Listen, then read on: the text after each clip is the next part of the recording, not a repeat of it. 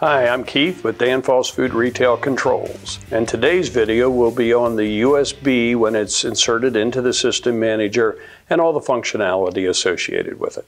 So whenever we're going to be using this USB,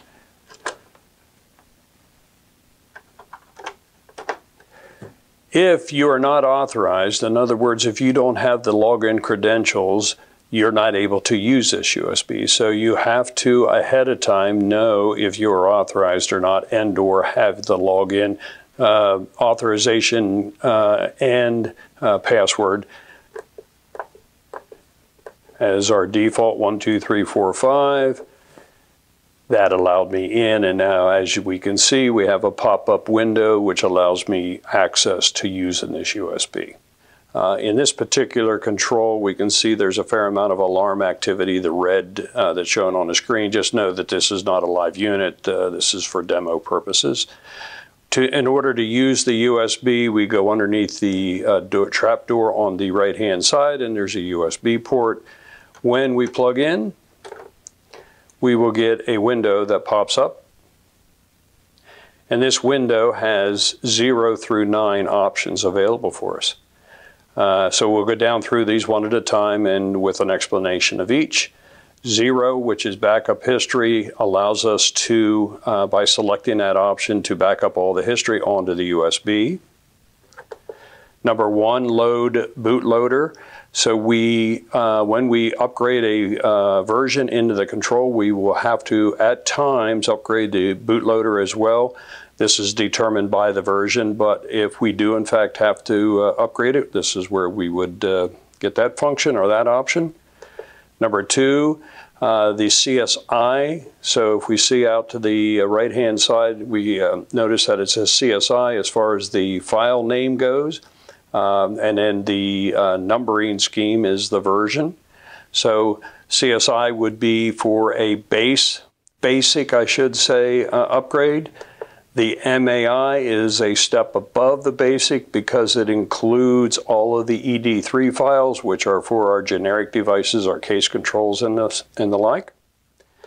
If we want to save a database, which is the most common option we select on here, we'll go to number four. Load database would be just the opposite. Instead of saving, we're going to load the database, but it's going to have to be a database that exists on that USB. We do need to talk about which database is being selected. Save report. This is where we uh, have a complete comprehensive report in the control of every set point uh, everything to deal with the control, including the audit trail, all will be saved in this report. Uh, if you notice, it's in a text format, so we can now take it out, we can put it in our computer, and we can view it in a text format. Refrigeration, similar, except it's very specific to the refrigeration.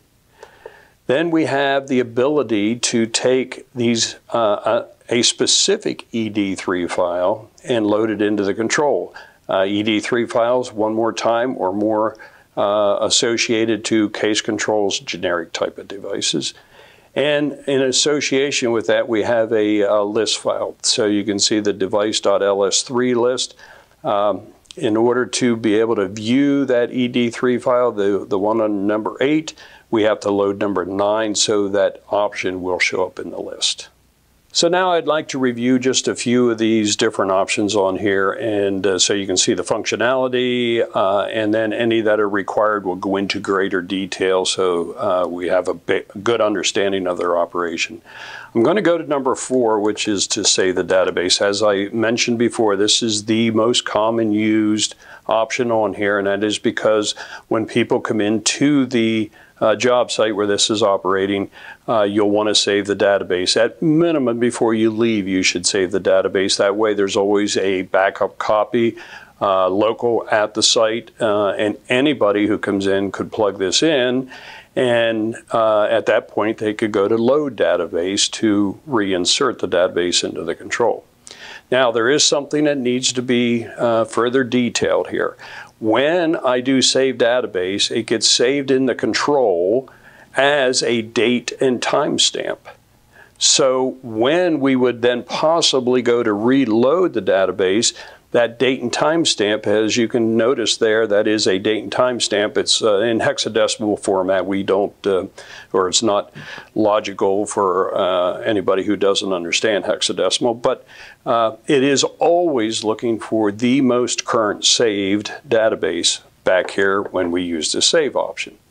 So it is very important that between these two that we use one USB per controller. We never share them across controllers. Otherwise, uh, this load option could confuse people and they could be loading the incorrect database into uh, any given unit. If I go back here to the save database, I press the OK button just this easily. You'll see that the status will go across showing it's saving the database. And we're done. So such a very quick option. Uh, and then even though I'm not going to do it, if I would load the database, it would come up and say, hey, here's the database you're going to load. It, in fact, is the one that I just saved. And it asks, are you sure? Uh, this is much more time consuming, uh, and it just is a status bar that shows up, so we're not going to run that. Anytime I do not have the window popping up, as simple as pulling the USB out, reinserting, pops up the window one more time. So we can always use the USB by just simply plugging it in and we'll pop up the window. But if by chance it doesn't uh, pop up and or you were uh, moving on to other work and you wanted to come back to it, if you go to the menu button and you see number seven down here, flash drive, it pops that window up as well. So two different ways. You can plug the USB in or you can go to the menu button, number seven, to get it to uh, appear. All right, so to go over a few of our additional options available on the uh, USB here, we can see number zero says backup history. I'm going to do this just for the uh, fact that we can see the simplicity of it. Uh, complete backup, uh, now that will uh, be dependent on the amount of history that has been saved, but as you can see, it's a very quick report. If I go down to um, refrigeration report, we are as well going to see we're talking a very quick pullback uh, and now we have it available to us on the USB. Now these reports that we just pulled back uh, later point, we'll put it into the computer and we can see that we can view these reports uh, on our computer. All right, the last piece of this USB that we want to talk about is going to be for numbers 8 and 9, which is to load an ED3 file and to load the LS3 file. Now, if I have um, generic devices, those could be things such as case controllers, uh, possibly our MCX HVAC controller, we consider them to be our generic family. And they can be visible on this control by an ED3 file. Uh, a good scenario why I would need to load an ED3 file would be uh, I've uh, got a brand new controller in and it is newer than the uh, system manager itself. Uh, maybe I'm a year later in needing to put in this new controller. And because of that, we've come out with a new version in this controller, the case controller, for example. And with a new version, we need to be able to uh, select a new ED3 file. Because this control is now a year old, that new file is not going to be sitting in here. And how can I make that happen? I will, number one, take this USB, I'll put it in my computer, and I will load the actual ED3 file that I'm needing onto this USB. And I'm also going to load the device list file on there as well. Both are required inside the control.